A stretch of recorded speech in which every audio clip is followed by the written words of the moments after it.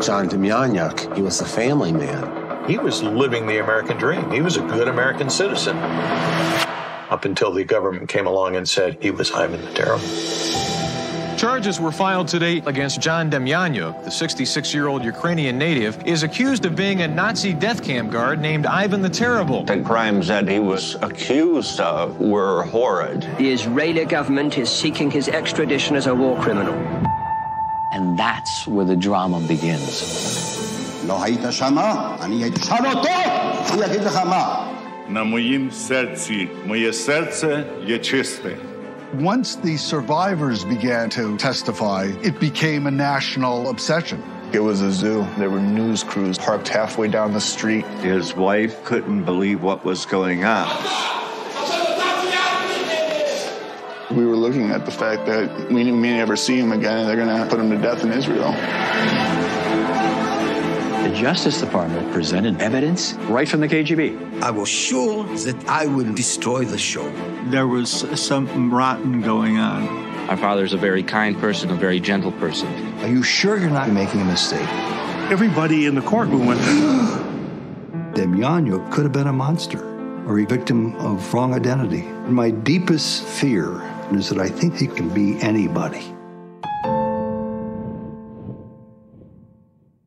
My next guest is a director and an editor known for the Oslo Diary, Censored Voices, and the very recent The Devil Next Door. His name is Daniel Sivan. Daniel, thank you so much for coming on the podcast today. No, thanks for having me. So I have so many questions for you, but for your sanity, I've really narrowed it down. But my goodness, um, look, before we get to The Devil Next Door, I do want to talk about your life here. Uh, before documentaries, um, what was your background and experience? Because I, I thought I read somewhere where you know you don't have the traditional film school background as amazing as your work is i don't think that's necessary but what is your background coming into documentaries uh, well actually like you know i just learned like you know film in high school um, and it was pretty obvious like you know i'll never find a job in that section. Um, and somehow, you know, I got into political activism, and through political activism, I started making docs. Um, about political issues, and slowly it began, you know, being more interesting than the politics itself, just the cinema of it. So I find myself becoming a terrible human being, but just like putting activism aside. uh, yeah, and just documenting the miseries. Yeah, but it's it's it's even though it's it's tough sometimes. The storytelling part, you're and, and, I'm not being patronizing here. You're very gifted at, and that's something no film school anywhere could teach somebody, and that not many people can do well. So I believe that part of it, in my opinion, Daniel, is ingrained into you. I feel like you have that that that gift. Yeah, well, I mean, film schools are problematic in my eyes. I mean, you know, film has been around for a hundred years, um, and there's not a lot to teach because you know the language keeps changing, and it's kind of patronizing to say, uh, you know, it's been around for a hundred years, so let me teach you all about it. I mean, I would suggest people just go and learn history or go and learn literature because it's basically it's about the storytelling and cinema is just like, you know, the technical add-ins that keep changing all the time. Is there a part that you found difficult before you got into documentaries? Was there something not the storytelling per se, but like you was there anything that you struggled with on the um, the the filming end? Is there something that you had to kind of learn along the way that initially wasn't easy for you to grasp? Um, I, I, learned along the way that I am the worst uh, scripted director ever. uh, I, I, I, pride myself for making uh, the most outrageously bad um, feature um, Israel has ever known. Um, and uh, happily, it was in a very young age. So, um, you know, that, that was a, a good wake up call telling me you should really stick to documentaries. No, you're very, um, you're, yeah, you're very good at it. And yeah, and I'm, I'm sorry, I cut you off. I apologize. No, no. I mean, I, I had to learn, like, you know, it, it, was a, a painful lesson just to say, like, you are no good with actors. Like, really, you know, just give it up. um, and I mean, what, what I really love about documentaries is A, you know, most of the documentaries I made or was involved in are just so, uh, you know, ridiculously weird that you know that it will it will never work as a scripted. Um, I mean, the devil knows is like the classic example of something that you know if I would read a script about it, I would say like this is just like you know not this doesn't really happen in real life. Right. Um, so, I mean, the beauty is like, you know, documentaries can be really wild. And the second thing is, you know, documentary characters are just amazing actors. I mean, they're, they're so much better than any kind of, you know, actor. Uh, you know, seeing like Yoram Sheftel in, uh, in The Devil Next Door, it's just you know he, who who couldn't compete with him. and we're going to get to him too. I have lots of questions about him. I complete. I feel like, and I was going to ask you this a little. Yeah, I mean, there's there's a lot there's a lot to it. So yeah, and do you find that because I know in a lot of your work there are um they're co-directors. Is that by circumstance or by chance, or is that the way you want things set up? Because I know I and I'm, if I'm wrong here, please correct me. I know the Oslo Diaries had a you had a co-director, and certainly with the Devil Next Door, you had a co-director. Is it is that on purpose? Is that something you that that helps each of you? How how does that work? So uh, first of all, like in the Oslo Diaries, I was directing it with my wife, life partner, creative partner, Mor Loushy. Um, and in Censored Voices, she was directing, I was cutting. And now in The Devil Next Door, it was Yossi Bloch directing and producing alongside me. Um, and for me, it really, it's always such a collaborative process. I mean, you, you can't really do cinema alone. Um, unlike, you know, painting, which is just you and the canvas here like you know you need all these great people to constantly give input and their insights. And you know also everybody has his you know uh, um, kind of a region of expertise um, you know I, I really like the storytelling aspect but like you know i can't bother with the deep research It really you know it drives me crazy mm. uh, so it was great like with this recent project, Yossi was just obsessed about the trial for years. And like every time we needed some piece of information, Yossi just like grabbed it in a second because he was like an encyclopedia for the whole case. Um, so I like it when I work with people that have really an in-depth insight. And then I can, you know, focus more about like, okay, how do we tell this story? Mm, mm. It, it, when you work with, like, say your your wife on the project, you know, the Oslo Diaries, which was phenomenal. Do you find that is is it nonstop talking about the project, or do you guys find a way to just stop talking about the project and do something away from the project to take your minds off of it? Is there is there a time where you you stop and just say, you know what, enough for now. Let's do something fun. Let's do something away from the project. Um, so, I mean, it's just, you know, such a happy and blissful uh, creative process. Uh, no, I'm kidding. It's, it's, it's, it, it's a living hell. Um, it's, it's absolutely terrible. Um, you know, we, we go to work, we really, you know, we try to kill each other in the editing room. And then we go back home, we have two kids um, happily, we don't argue about the kids, but the minute they go to sleep, you know, we keep arguing and it goes into the night and into the next morning. Um, and then, like, you know, right about the end of the of the project like we are going to get a divorce. We say we will never ever do it again. And then comes the next project and we say okay like i have something new. Like let's do it.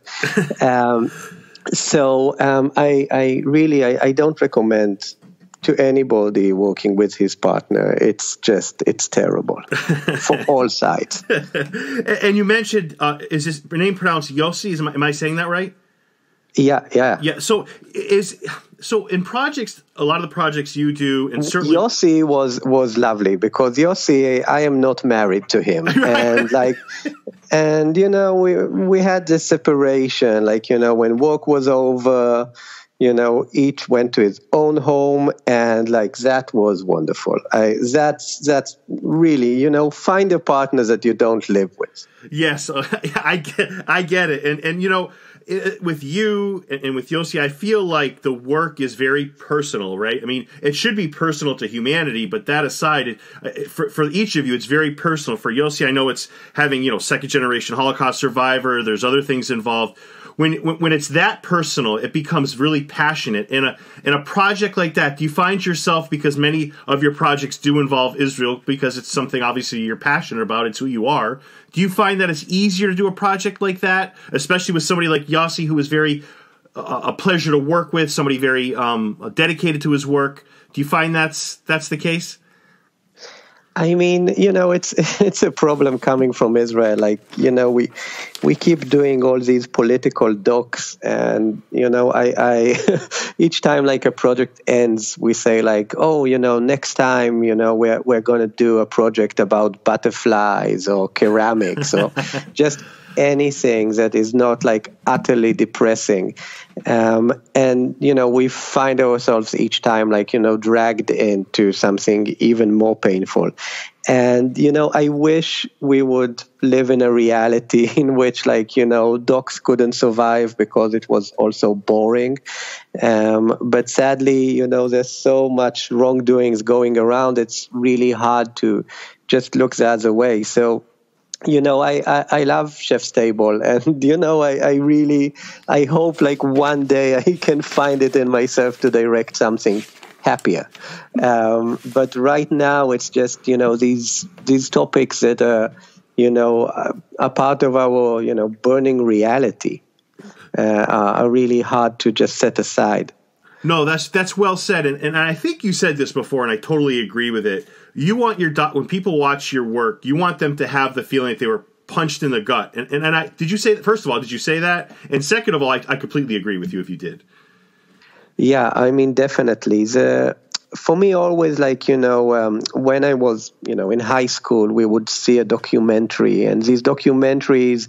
90% of the time were like this historic docs that like everybody was falling asleep in front of the television um, and they were very educational and very informative. And I mean, that's really missing out on the whole essence of documentaries. I mean, you know, if you want to get some information, you should really read an essay or read a book. And books can really give you the in depth information but like they don't really you know have this gut reaction of you know reading an essay about the holocaust won't make you cry. It won't make you you know shed a tear. Um, it would just give you the information. And the power of these documentaries is really we can you know create this gut reaction that is above words. It's not about um, oh it was so interesting watching the Demjanjuk trial. It's something that is more than that something that haunts you. Um, and I think that's the goal of, of any documentary I deal with just you know really trying to convey some kind of emotion. And if that emotion makes you read a book like you know it's that's that's achieved the goal no, again, well said. Yeah, and, and I and I, I'm nobody's falling asleep in your work. I can promise you that. And you know, the, the the movie that I wanted, the documentary that I wanted for those of you listening that we're talking about today is The Devil Next Door, a true crime tri- mystery, five hours, five parts. It's currently on Netflix. Um, boy, I got to tell you, not only did I feel punched in the gut with this, Daniel, I almost feel like it hit me over the head as well. Yeah, it's it's a crazy story. I mean, it's a crazy story because it's really so extreme. I mean, if you look at it, it's again, I mean, for the viewers and listeners who um, haven't heard about the show, it's about this guy from Cleveland in the 80s. Um, he's 65, a retired auto worker from the Ford plant. And one day, two agents from the OSI Office of Special Investigations knock on his door and tell him, You are accused of being Ivan the Terrible of Treblinka. Now, Ivan the Terrible is not a Nazi. He's like the boogeyman of the Holocaust. This is a man that just sadistically tortured and killed a million people, which is a number that you can't even process. Like, what, what does it even mean, a million people? And he's charged of being the most evil human in, in history. And unlike other Nazis, he didn't say, Oh, I was just following orders, I was just a cog in the machine. He says, I know that there was a Holocaust. I don't deny it. I have pain for you. I have empathy, but it's just not me. I'm the wrong man. Um, and he didn't admit of doing anything wrong. For him, it was just, you know, a total mistrial of a scapegoat.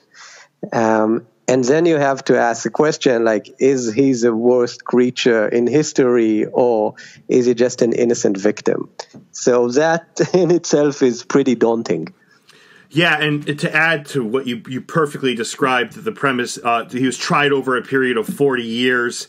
Um, there is a little bit I want to touch on with his death later on, but, you know, how much did this case, uh, Daniel, impact Israeli society, culture, and history? I mean, I, it sounds like a stupid question to you, I think, because it's, I think the answer is clear, but for those listening that may have not yet watched this or, or aren't familiar with it, how much did it impact those things? Um, it actually didn't. I mean, when you think of it, um, for Israel, they have the very, we have the very heroic uh, trial of Eichmann. Um, we tried him, we found him guilty, and we executed him. He's the only person ever to be executed in Israel and ever since as well. Um, and that's how we look at Holocaust trials. Demjanjuk was considered this very strange trial, almost a mistake, almost something shameful that happened in our history, and it was pretty much, you know, uh, swept under the rug. Um, Yossi, uh, which is older than me, um, more mature. um, he uh, he would come back from school, and back then we had only one television channel, which is pretty nuts. I mean, just think of the 80s, you wouldn't have channel one, two, and three. You had just TV on or TV off. so yes. it got 100% ratings um, like the whole country was just watching this trial broadcast live for four five hours a day for a whole year um, and Yossi would come back from school and just watch this trial um, I was born later I was born in 1983 so I mean, I was very young back then at the trial. Um, I never heard of it. Like, you know, I, we went, taught about it in school. You know, I knew it happened. I didn't know what the outcome was. Um, and I think like Israeli society did all it could in order just not to think about it because it was such a painful trial for everybody. Um, and the only impact that this trial did uh, give our society is focusing on the collaborators. Because John Demjanjuk uh, was not a German Nazi. He was a Ukrainian prisoner of war that was taken prisoner by the Nazis. And his collaboration during the Holocaust and the collaboration of all these different people, um, be it Ukrainian, Polish, and from Lithuania and other countries, uh, that was the first time that the collaborators' work was discussed. Like until now, we knew only about, you know, people like Eichmann, that was a proud German. So that was new. Yeah, and, and um, again, you know, it was definitely a powerful and a very painful uh, trial to watch. I mean, a lot of those people, you could just see it on their faces. It was just very, very painful. And, and you went over Demjanjuk's background, born Ukraine, drafted in the Soviet Army. Nazis captured him. I have to tell you, Daniel, this guy is a chameleon. I feel like no matter where he goes, he's able to blend and fit in and talk his way through anything. I mean, it's also it's pretty amazing. I mean, seeing his life because this is a man that survived hunger, that survived famine, um, and then he was recruited into this war that I'm not sure he even wanted to fight. Um, and during the war, um, he was injured, and you know his back was like um, filled with shrapnel um, after a bomb exploded next to him. And, you know, he was for a few months in hospital and he went back to fight until he was captured by the Nazis. And, you know, what happened next is a matter of dispute. But he was really a survivor. And it's almost perverse to say a survivor about this man, um, you know, considering the, the Holocaust survivors. But this is a man that did not just, you know, lay down and accept his fate. He was a fighter he's he was definitely a fighter, but he's also somebody that I found like a, so at, for me when I'm watching this wonderful documentary, at, you know, historically as it's going through the, each episode, I found myself in a lot of you know I went back and forth. I felt sorry for his family. My heart went out to the Holocaust victims. Like I'm all over the place with emotions, and then as it kind of plays out, you know, you see him say shalom when he's talking to somebody who's you know, Jewish, getting off the plane and asking the guard to kiss the ground. He wanted to shake the Holocaust of uh, victim uh, his his hand in the courtroom. I find him kind of obnoxious as well. I don't. Sometimes I don't think he's as smart as he thinks he is. Does that make any sense? Yeah, I mean, you know, he's a fascinating character. We actually had to tone down some of, you know, the events, just like you know, to have you kind of you know follow it. Because like one example is like he is taken to israel like you know the plane lands in israel and is taken right away to an interrogation and in the interrogation, this interrogator, um, a Jewish interrogator named Alexis Shalom, starts asking him questions. And Demjanjuk doesn't want to answer any questions because for him, you know, he was already charged, so they cannot interrogate him, which is not correct, but like, you know, that's what he felt. And, you know, he got annoyed with the interrogator, so he sprang out and choked him almost to death. It took like four other guards to take him off the guy's throat. Um, and in the end, like, you know, he succeeded in punching Demjanjuk, so Demjanjuk let go. But like the interrogator was blue at that stage. Um, I mean, this is a guy that's like, you, you know, the first thing that you do when you're taken to Israel and interrogated for war crimes is not to choke to death your interrogator. yeah. So not he, a good move. Yeah, so he, he was a complex character. Now, is the story you just described, and I'm sorry if you said this and I missed it, was that caught on tape or was that just from from what you from what they know from documents? Oh, um, we interviewed the guards that uh, sadly he passed away, um, and they don't have it on tape. Okay. Um, but we have like all the documents proving it. But you know, we just didn't want the audience to say, "Wow, this guy is like guilty hundred percent." Like we needed some shred of anything just to follow the line. So I do want to ask one question. I'm going to tell people listening, just pause it now if you don't want to hear a huge spoiler. Okay, so I'll give them three seconds. One, two, three. So I have to say one thing, Daniel, and I've been dying to say this to you. My, I was convinced 100% that he is he is without question um, Ivan the Terrible. When I saw the federal surveillance of him and his you know wife and family, he was up and around and laughing. This is later on, you know, uh, you know, smiling and laughing, and I'm going to say, and then when he got to court and the German authorities, you know, you know, arrested him, tried him, he shows up into court looking like he's dead. He's on the stretcher. His eyes are closed. To me, that wrapped it up for me. For to me, it was like this is just too much. This guy He's just too crafty. I believe he is Ivan the Terrible without question. For me, that was the scene that did it. When the federal authorities had him, you know, on, on tape, you know, walking around. This is in his 90s or his 80s, I think, walking around doing his thing. And I said, that's, this is it. This guy is just, he is just a walking lie, you know? Yeah, I mean, you know, each time people ask me, like, you know, so uh, do you think he did it? And I ask them like, you know, what what do you guys think? And then they're like, you know, so but but but what's your opinion? And I'm like, no, I I really want to know, um, because for me, you know, this case was haunting me and Yossi, you know, for the past four years, and I still don't have an answer. Um, sadly, I mean, each time, like, I mean, once a day, sometimes five times a day I would like jump into Yossi's room or Yossi would jump into my room while cutting and I would say like I have some proof. I have like this golden proof, a golden evidence that shows why he's guilty. And Yossi would spring back and say like, yeah, but like you know I can't dispute that because we have this and that. And like we kept driving each other just insane about like did he do it? And we're still waiting for someone to give us an answer.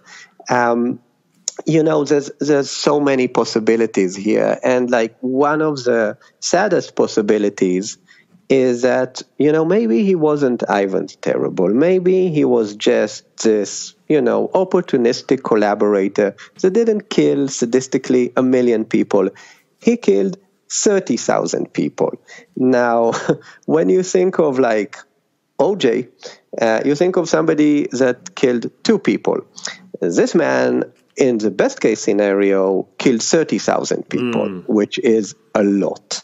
Now, it might be, um, and I'm sorry for driving you nuts, but like it might be that he wasn't Ivan the Terrible, and he knew that. And then he gets this crazy trial around him and he's convinced that wow guys you, like you got the wrong man. Like yeah of course it's me on the id and i'm lying through my teeth. And like of course i was in Trawniki and in sobibor but like i'm not that specific monster. And maybe he didn't meet these holocaust survivors. Maybe he did feel like this is all one big massive joke and maybe he felt that, like, you know, if he was sent to Russia, he would be executed in an hour. And if he was, ex- if he was extradited to France, um, they would kill him in a day, like they did Klaus Barbie. And he's just, you know, going through the years saying, like, wow, like, you know, I'm going to be hanged. And, like, you know, it's just, I'm not that guy. And the, you know, the most painful thing about it is this is a guy that did never say, you know, I am not Ivan the Terrible, but I regret my actions during the Holocaust, or I did something wrong, or even provide any kind of alibi saying, you know what, I was here, I was there. But this guy had nothing. Mm. Yeah, that's well said. And I have to say, as you were saying it, I wrote it down beforehand. You're right. Minimally, he's participated in 30,000 deaths. In the worst case, he's Ivan the Terrible. I mean, either way, it's just he, he's he's guilty beyond belief. I just I don't know. I, I, I felt that that should have been enough for the courts to say, you know what, whether he's Ivan the Terrible, that that doesn't really matter at this point. But the fact that he participated or is a contributor to the death of thirty thousand people, that's enough to say, you know what, this man does not deserve to live into his nineties. That's the way I see it, Daniel. Maybe that's a little harsh. Yeah, and like, you know, and on the other hand, I have serious problems, um, you know, believing these written testimonies by dead Nazis over these Holocaust survivors that really lived to tell their story and pointed to him and said, This is a man. So yeah, it's it's problematic. I mean, you know, my my gut reaction is, you know, I, I, I need to believe the survivors because this man did not have any credible alibi or another explanation. All he said until he died was, "I was never anywhere." He never even admitted being in Sobibor or in Trawniki or having, you know, his face on the card, even though it's clear that it's him. Um, so really, I mean, you know, that's that that's problematic. Yeah, and, um, and, and, I'll tell you this too, Daniel. And one of the things, you know, it was tough to see the survivors, you know, talking to him, and just you could see what the years have done to them. You know, and one of the one of the tougher scenes to watch is one of the survivors who has a, a issue with his memory, which is, you know, it, it doesn't change the fact that 10 survivors are saying the same thing. It's not like he's the only witness, but that was a very difficult scene to watch from the trials is is to watch all of them go through their experiences, especially the one man who had lost his memory and you know said he took a train from Florida to you know but you know 10 survivors saying the same thing should have been enough I thought. Yeah, it's um it, it's really, really, really, um, you know, saddening. I mean, I, I, I am really grateful that I am not a judge because, you know, was a doubt? Yes, definitely there was a doubt. Was it reasonable doubt? I don't know. Um, can I ask you this, and hopefully I follow this right? Why d- d- Russia got the whole ball rolling by giving the ID and identification of of uh, Demjanjuk? He, they, that, that's who started this whole process, right? Um, yeah, the the Russians basically uh, sent over a list in order to humiliate the U.S., saying, "Look at all your Nazis that you are harboring going around there." Um, and for the Russians, really, the motivation was saying, you know, either you are communists or you are Nazis. Like, you know, all of these Ukrainians that are anti Russians, just like, you know, just like smear them all, saying, like, you know, they're all Nazis. But they did provide a very credible list of, yes, Nazis living in the US. So that's how it started. Mm. Um, one of the things that you did, uh, both of you did, you and Yossi did that were that was incredible that not many people talk about, and I hope I have this right. It'll be embarrassing, but um, is that you saved a lot of the trial tapes, right? Because they were in pretty poor shape when you discovered them. Is that is that correct, Daniel? Yeah, they were in awful shape. I mean, here comes the role of the U-matic tapes. U-matic is the worst format of video ever invented. Um, it's a three-quarter inch of video that just, uh, you know, falls apart during the years. And it just starts creating this kind of weird green fungus and all of these audio tapes just stuck together and became like one big block of magnetic goo.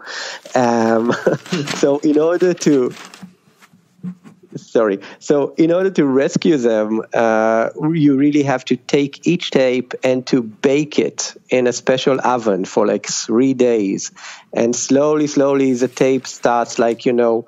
Um, uh, sorry, the, the, tape starts um, uh, uh, falling apart and not, you know, uh, unsticking. Um, and then you can digitize it. And as you see, like in the documentary, they're like in awful conditions now. I mean, the, the crazy thing is like if we would do this documentary in 10 years or so, probably, you know, we won't have any trial footage.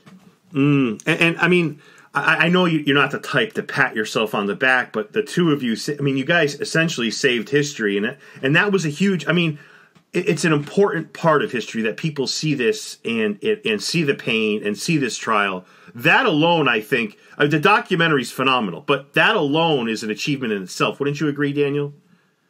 Yeah, I mean, you know, one of the biggest, um, I mean, really, I mean, the, the biggest assets that Israel has is its archives. And we just keep them in an appalling state. And it's terrible because when you think about it 1 million people were murdered in Treblinka. And the only people to survive the war are these 70 people that like you know fought physically fought and you know had this mutiny and rebellion in Treblinka and they escaped. And these 70 people lived to tell of what happened and the Nazis told them, you know, you can say whatever you want, but nobody would ever believe you. Um, and you know their testimonies are only on this falling apart videotapes and like that's so important to preserve it just because there are no other evidence of Treblinka. All of the documents and all of the photos were all burnt. So I mean that's what we have in order to tell the story of a million dead. And I was going to ask you this last, but I'll, but I'll ask you now. Where does is is Yossi the same as you? Does he not have a view of whether John was Ivan the Terrible? Does he have a view? Does, what does he feel? Oh, uh, exactly like me. He has a very clear view that changes once an hour. uh, it's um, it's difficult. Like you know, we're we're still waiting for somebody to see the show and say like you know, oh, I have proof. Yeah, and let me ask you about a few people in the documentary that I found fascinating. Uh, what what was your take on Mark O'Connor? Was he in over his head? Um, I don't know. I mean, um, first of all, like you know, I, I, I really do believe he was a good guy. Um, he really tried the best he could um, in order, you know, to, to save a man that he was sure is being set up by the Russians. Um, his personal motivation uh, was a good motivation, and it did a good job. Um, as to his uh, lawyer skills, um, I will leave it to the hmm. people in the documentary to comment about that. But they were more critical than I was. The next person I'm going to ask you about, I feel like you could make a documentary on him alone. Um, is Sheftel? Is he a showman? Is he? A, and these are other things that people said, not me a showman? Is he a traitor? Does he care about the law? Is he, I'll say, is he crazy? Is he all of the above? What is your take on Sheftel? Because I found him, for better or worse, absolutely fascinating. Um, Sheftel is all of the above but crazy. Um, he is very calculated and not crazy at all. Um, he is just fascinating because you know, he really pushes, you know, bad taste to the limit. I mean, this is a guy that started out as a very young lawyer uh, representing Meyer Lansky, the Jewish mobster. Mm. Um, then he took up the Demjanjuk case. Um, and then he kept taking cases that were even more controversial. Um, and now he has like the number one radio show in Israel um, as an obnoxious uh, radio uh, star.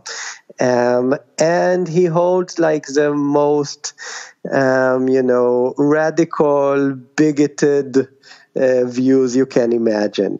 Um, so he is complex. So on the one hand, you know, I have absolutely zero um, empathy for his political views. Uh, he's a pretty obnoxious character. Um, and on the other hand, like this guy has guts. Like he really stood against not only the legal system in Israel, but he stood against Israel. He, like, you know, he takes pride in saying that he was the most hated man in Israel. Um, and you know, and now he's a star. Um, and it's it's uh, it's complex. I mean, you know, it, it, takes a lot of courage to stand against. Um, sorry, it, it, takes a lot of courage to stand against, um, you know, a whole country saying like, you know, I believe in this man. I believe he's you know he, he he deserves like the best legal representation he can get no matter what. And you know standing against holocaust survivors that you know you cannot dispute them. Um, on the other hand uh, he's a creep.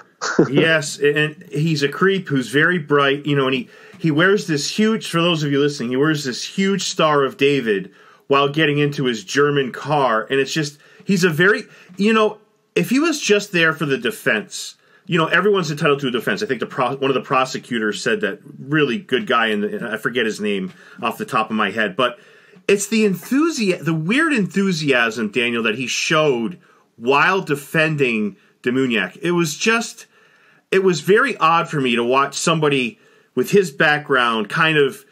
I don't want to. This is over the top, perhaps, but give the middle finger to the Israeli people while defending this horrible, I think, person. I don't know. It's the way he approached it with his the enthusiasm was just like it caught me off guard a little bit. That was part of the punch in the stomach, I think.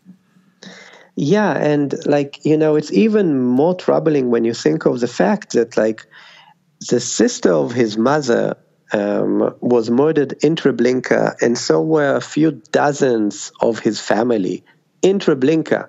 So you know, probably Ivan the Terrible, be it Demjanjuk or be it somebody else, killed his mother, his mother's sister. Um, and that man is representing somebody that, you know, he is not an idiot. He knew that Demjanjuk did something wrong in the Holocaust. Um, I don't believe that Sheftel was sure that, you know, Demjanjuk was, you know, just a, a good guy, just, you know, stumbling into the Second World War. Um, but on the other hand, you know, Sheftel, he is like the most important part of this trial because if Demjanjuk would have a really crappy lawyer that wouldn't defend him with passion, that wouldn't defend him with vigor, um, you know, you would say, okay, it was a show trial. You know, you had a lawyer not really doing his job, so you know the outcome was pretty clear. Um, and the fact that Sheftel fought so hard made it a really legal trial and not a show trial. Are, are there? You mentioned that, and, and, I think I read this that he has his own radio show. Um, do people still harbor ill will towards what he did? I mean, obviously not because he's got great ratings. He's the number one, you know, radio show. But are there people out there that still? I mean, you're looking at a man who had acid thrown in his face. I'm surprised somebody didn't kill him. I was stunned. I thought for sure uh, he was going to end up dead on the other side, but uh, th- that caught me off guard. But do, do people still have a lot of ill will towards him, Daniel? Um, not at all. Not at all. I mean, um, you know, now that the show is out, I'm sure it causes some reactions for many people. But I mean, until now, people regarded it as like, you know, Sheftel got the wrong man out of trouble. And like, you know, Demjanjuk wasn't Ivan the Terrible and Sheftel saved the day. Um, I think this show might make some people reconsider that. Is there a part of the documentary that hit, I mean, with with the uh, uh, exception of the obvious, is there a part of the documentary that hits home with you that even you find difficult watching when you you know when you're obviously editing it or watching it? Is there a part that really sticks with you? Oh, I, I couldn't cut uh, the testimonies of the survivors. I mean, it's like I cut them we put them in the episode and like you know we had like a million and one screenings you know until we finalized the, the, the offline. And you know in each and every one of them you know i had to walk out. I mean for me it's just it's too painful. I could you know i could cope with the very very painful graphic element of the show but just listening to the survivors that was too much for me i mean it, that really struck home and I have to say, no matter how many historical videos I see, whether it's actual footage, you know, primary source footage, or, or a documentary or a movie, it's the sight of the concentration camp, the shoes, and it just it's so difficult to watch. It's almost like it's almost like you're watching something that it's so hard to process because when you try to think about it, the emotions are just leveling. It's just I, I, don't know. That's that's the way I feel. Is that kind of the way a lot of people feel? You think Daniel watching this? Yeah, I mean, you know, it's it was also like a matter of concern for us. Like, you know, when we started doing the show, it was very clear for us that we don't want any Holocaust footage in the show. Like we wanted it to be more like Mindhunter, where you hear the voices and you have to imagine. Um, but like working on it, we started to understand that people in the US and, you know, in Europe, um, many young people have just like zero understanding of what was going on in the Holocaust. And, you know, when you hear these, you know, these stories and these testimonies, you know, you need to understand that, like, you know, the Holocaust didn't look like Schindler's List. You know, the Holocaust was as gory and as you know just you know in, in lack of another word just like as as horrifying um, as you can imagine. So we decided really like you know if we are going to portray what people are talking about when they say ivan the terrible uh, we need to let people really you know see what happened yeah, I think horrifying is the perfect word to describe it. And I, will tell you whose quote I found a little bit horrifying was um, the grandson, Ed Nishnic Jr., when he said, and, and, I don't know if you remember this, where he said, you know, if you were in the situation my grandfather was in, life or death, I mean, what are you going to pick? Whatever he did, whenever he, whatever he was, is insignificant to me. I cannot believe he said, like, when I read that and saw, I just can't believe that. Yeah, I mean, you know, for me, I'm I, am trying not to judge, um, you know, family members that need to justify something for themselves. I mean, I I can't imagine what it is to be the grandson of somebody that's being accused of being this monster. And monster, you know, it doesn't matter if it was Ivan the Terrible or just like a mass murderer of 30,000 people Um, I think people need some kind of, you know, justification in their minds, something that they can really, you know, cope with. Um, so, you know, I'm, I'm trying not to judge him. Of course, like, you know, I, I find this, uh, the statement pretty appalling. Um, but you know, I, I, I do understand that it's coming from somebody that has to cope with a very problematic legacy. Yeah, and and I'm, going to tell you something else I found problematic was, um, and I'll be very brief on this. I'm not going to touch on it a lot, but my mother is from Poland. I'm half Polish. I'm fluent in Polish. I was not okay with the whole map thing that they brought up. When when it comes to Poland and the Holocaust and World War II, say nothing. Just shut because the more you say, the worse it is. Because well, I'm not going to go into roles and, and point fingers, but I mean, Poland could have done a lot of things in better ways, but that's a conversation for for another time. Um, did you find that, that that to be kind of a pain dealing with that whole situation, Daniel? And if you don't want to answer that too, I respect that as well. No, not at all. I mean, uh, not at all about uh, happy to answer. Um, I mean, at first, um, you know, it, it made me very furious. I mean, uh, it, it's very, very problematic on two levels. Um, one, of course, you know, the Polish people have a very troubling uh, relationship uh, to the Holocaust. And of course, you know, um, the current government of Poland um, is not the most uh, liberal liberal one. Um, and, you know, for me, it's very problematic having politicians uh, call up any network and say, you know, change your film.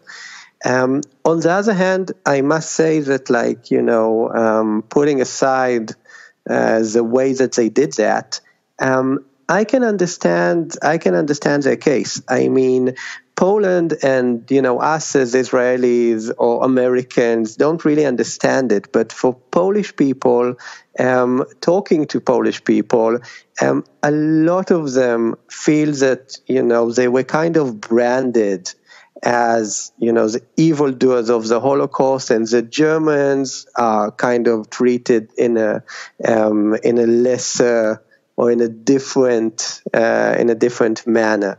I mean, you know, for them, they say, you know, we were occupied under Germany. Then they were occupied, of course, you know, under Russia uh, during the Cold War. And they never really survived. I mean, Germany now is prosperous and Poland is not.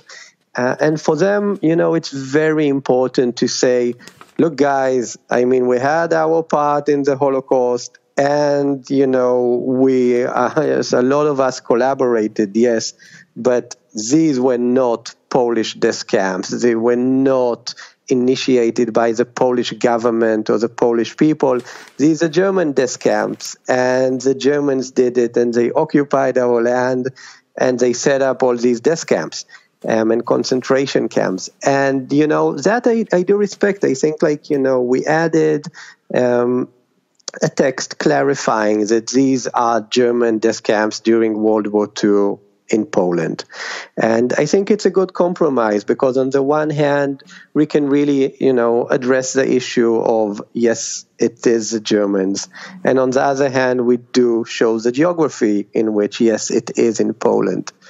So, I mean, I, I do have empathy for their pain about, you know, being portrayed as the only wrongdoers of the Holocaust. Yeah, and, and um, to, know, even even if somebody has a minimal knowledge of World War II in history, knows that Poland didn't initiate and st- like I feel like it was such a I don't know. As as somebody who's Polish, I feel like I could speak. I just feel they shouldn't have. I don't want to say they shouldn't have said anything, but I think it's well known throughout history that they didn't you know, these camps weren't run by Polish people; they were German camps. But I don't know. I just felt like I, I, I don't know why call attention on an issue that I, I, I, have a lot of problems with what they did to you guys. I, I wasn't okay with that. I mean, I understand where they're coming from, but I almost think it's like assumed, right, Daniel? Is that a stupid way to approach that issue? Yeah, I mean, you know, for me, it, it, feels ridiculous because, like, you know, every Israeli um, you know, can tell you that, you know, the Nazis came from Germany and not from Poland. Um, but, you know, in this era of fake news and people that just believe everything they see online, I don't know. They are pretty. there, there are quite a lot of ignorant people out there, and you know, just clarifying for these people that these are historic facts. Um, I can relate to that. Yeah, and I got to say, uh, Daniel, thank you so much for giving me almost an hour of your time. Is there any future projects you're considering, or anything on the burner that you have going on, or contemplating? I know you got you got a lot of stuff going on in your personal life, very busy and, and so forth. Is there anything you wanted to get out there? Oh, we we are in like now working on like three different very exciting projects, but like as always, I can't talk about them sadly. But um, once they're out, um, I'll be happy to come back and blab about them. No, I, I I really appreciate that. The documentary is called The Devil Next Door. It's one of the best documentaries I've ever seen. Certainly one of the top of the, of this year. Um, wonderful work, Daniel. I, I, cannot thank you enough for coming on the show today. His name is Daniel Sivan. Daniel, again, thank you so much. Oh, thank you. It was a pleasure.